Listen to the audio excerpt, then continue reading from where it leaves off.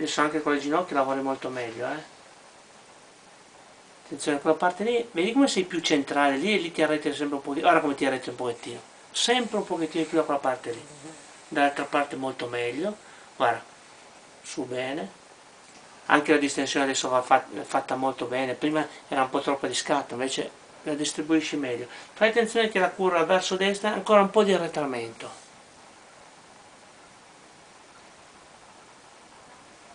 questa era una semi serpentina. Però già. Meglio meglio non segui più col busto guarda guarda.